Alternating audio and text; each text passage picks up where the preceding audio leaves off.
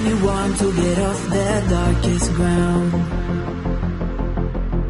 But gravity pulls you straight down.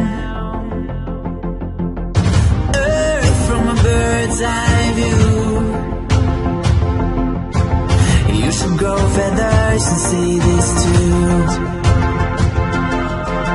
When you want to